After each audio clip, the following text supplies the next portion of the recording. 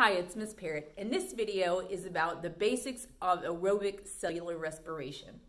Aerobic cellular respiration is the process by which organisms take unusable chemical energy from food and combine it with oxygen to make usable energy to power cells processes called ATP.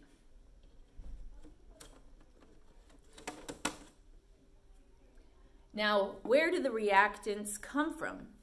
Well, glucose, uh, which is a sugar, a carbohydrate, comes uh, from our food. Its chemical formula is C6H12O6. So anytime we break down carbohydrates, at the end of the day, we're going to get the basic building block of carbs, glucose. Then we're going to take in oxygen, O2. We're going to inhale it from the air. Then in a series of many, many coupled reactions, at the end of the day, we're going to yield carbon dioxide gas, CO2, and we're going to breathe that out.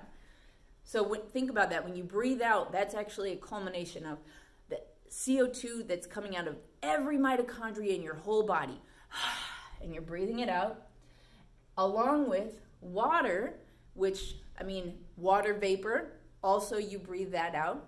Some water uh, you sweat out, some of it you cry out, some of it uh, you're excreting as urine, and some of it stays in your body in like your blood and in your cytoplasm.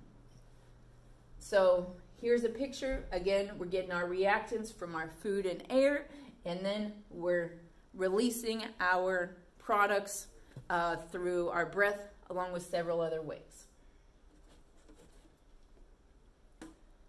Aerobic cellular respiration happens in the mitochondria of eukaryotic cells. The structure of the mitochondria is it has an outer membrane, an inner folded membrane, and then in between those two membranes is called the intermembrane space. Uh, that's because you need to have different uh, atoms and molecules going across this from uh, inside the inner membrane to that inner membrane space and back again over and over for all the reactions of aerobic cellular respiration to occur. Another thing you'll find in mitochondria is its own mitochondrial DNA.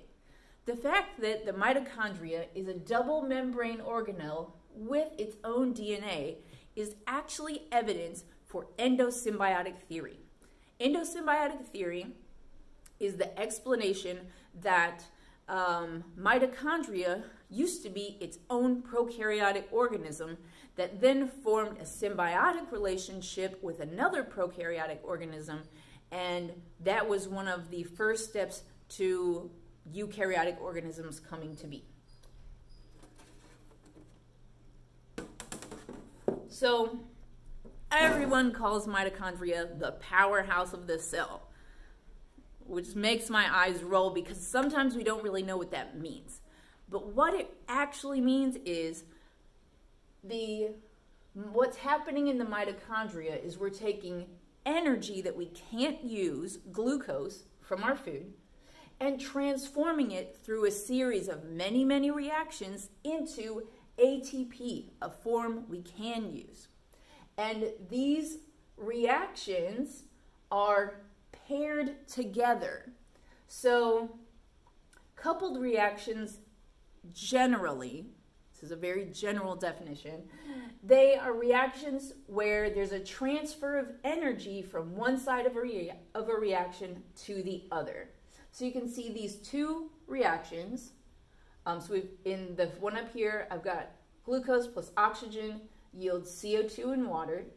And then in a like a parallel reaction, I have ADP or adenosine diphosphate. So A is for adenosine and these P's are each phosphates. So adenosine diphosphate means this one has two plus one inorganic phosphate is going to yield, so when I stick this P onto these other two P's, it'll make ATP, adenosine triphosphate. So it's an adenosine plus three phosphates. So in this set of paired reactions, I've taken the energy from the reactant side of this and put the energy on the product side of this equation.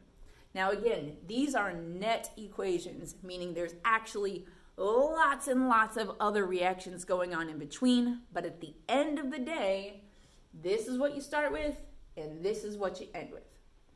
So, right, again, a coupled reaction is where an energy releasing reaction is powering an energy storing reaction. We're releasing reaction here, we're releasing energy here, and then storing energy as ATP here.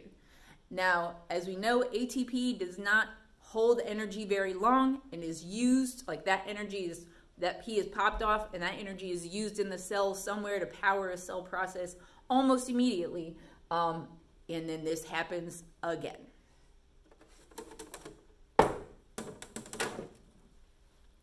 So I was talking about, oh, dropping my marker. Okay, I was talking about the net chemical equation. And we've been looking at glucose plus oxygen yields CO2 and water. But you can probably look at this and easily tell that it's not a balanced chemical equation. So we're going to take some time to do that right now.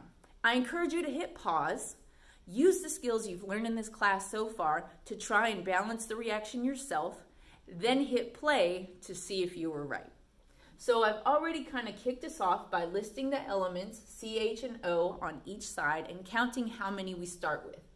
On the reactant side, we start with six carbons, 12 hydrogens, and in this combination, eight oxygen. On the product side, we've got one carbon, two hydrogens, and three oxygens. So let's look together. We can start off, if I have six carbons here, I could put a six in front of CO2.